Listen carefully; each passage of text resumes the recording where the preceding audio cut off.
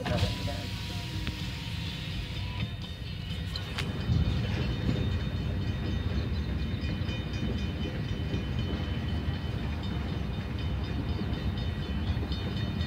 rack cars.